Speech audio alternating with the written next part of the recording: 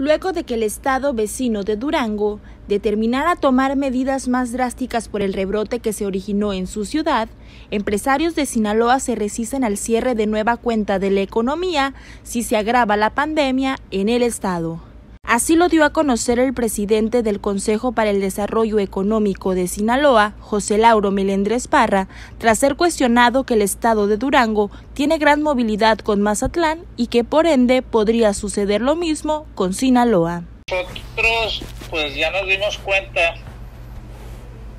que cerrar la, economía eh, no fue la solución ideal. Creemos que aquí eh, el área de oportunidad está en, la prevención de los contagios, que es competencia pues, de la Secretaría de Salud.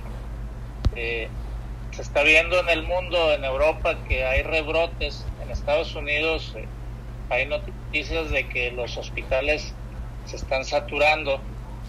Aun cuando nosotros no tenemos un invierno duro que, que nos ponga en la misma posición que Europa, sobre todo, pues sí tenemos que ser muy cuidadosos en cómo vamos a manejar eh, la movilidad de las personas. Melendres Parra expresó que ha disminuido el número de fallecimientos por esta enfermedad, pero reconoció que los nuevos casos van en aumento, colocando en focos rojos a la capital del estado. Finalmente aseguró que se tiene que buscar un plan emergente de cómo tener la economía abierta sin poner en riesgo la vida de los sinaloenses. En lo particular vamos a, invitar a, platicar al secretario de salud para ver qué podemos hacer en conjunto.